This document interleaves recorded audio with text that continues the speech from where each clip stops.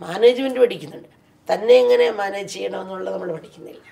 കമ്പനികളും ബിസിനസ് സ്ഥാപനങ്ങളും മാനേജ് ചെയ്യാൻ എം ബി അതുപോലുള്ള യോഗ്യതകൾ കരസ് പലരും കരസ്ഥമാക്കുന്നുണ്ട്. അഞ്ഞൂറ് പേരുള്ള കമ്പനി മാനേജ് ചെയ്യുക എന്നാൽ അഞ്ഞൂറ് മനസ്സുകളെ മാനേജ് ചെയ്യുക എന്നാണ് എന്നാൽ സ്വന്തം മനസ്സിനെയും ചിന്തകളെയും മാനേജ് ചെയ്യാൻ നമ്മൾ പഠിക്കുന്നില്ല.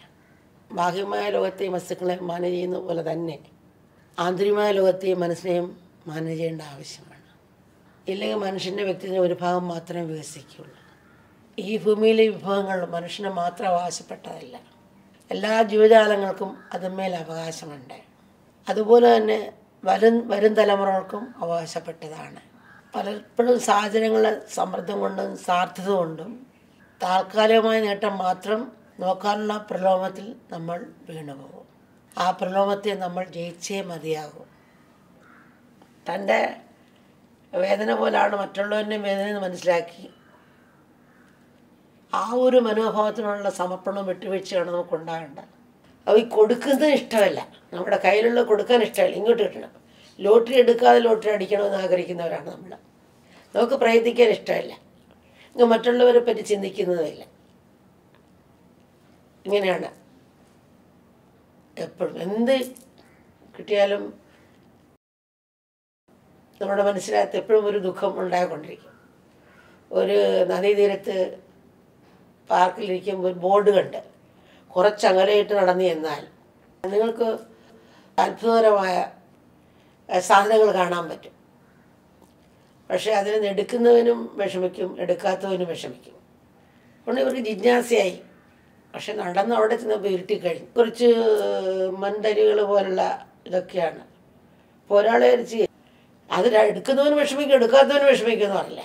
ഞാനൊന്നും എടുക്കാൻ പോകുന്നില്ല.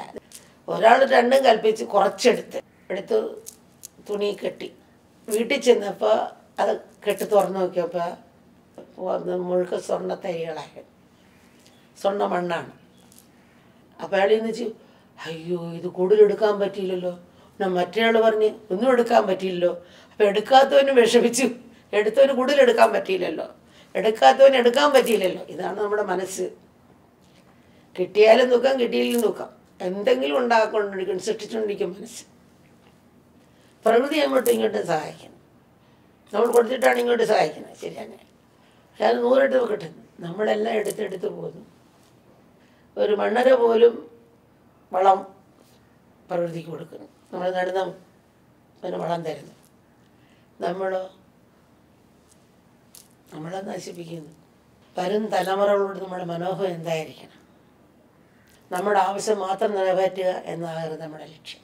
ഭാവി തലമുറയ്ക്ക് കൂടി ഭൂമിയിലെ വിഭവങ്ങൾ അനുഭവിക്കാൻ കഴിയുന്ന രീതിയിൽ നമ്മൾ ഉപയോഗിച്ചാൽ നമ്മുടെ മറ്റുള്ള ആവശ്യങ്ങൾ ഭംഗിയായി നിറവേറും എന്നുള്ള ഒരു പാവപ്പെട്ട കുട്ടി എന്ന് പോയി പ്രാർത്ഥിക്കും. നീ എന്തിനാടാ പോകുന്ന പ്രാർത്ഥിക്കാൻ പോകുന്നത് യേശുവിനോട് എനിക്ക് നല്ലൊരു ഷൂസ് തരണമെന്ന് പ്രാർത്ഥിക്കാൻ പോവാണ്.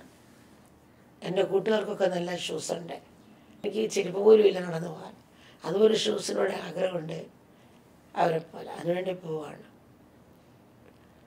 അപ്പോൾ കുറച്ചാൾ കഴിഞ്ഞ് ചോദിച്ചു നിനക്ക് പുത്തനാളെ പ്രാർത്ഥന ഷൂസ് കിട്ടിയോടാ?